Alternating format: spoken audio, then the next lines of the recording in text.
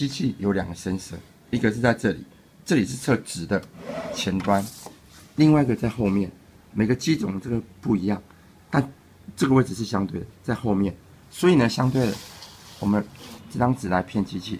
我如果盖到或者拿个不透明的胶带盖住它，扣起来，就这样。但是我拿开呢，load media，中文写加载介质，盖上去就有。好，所以请留意这个问题。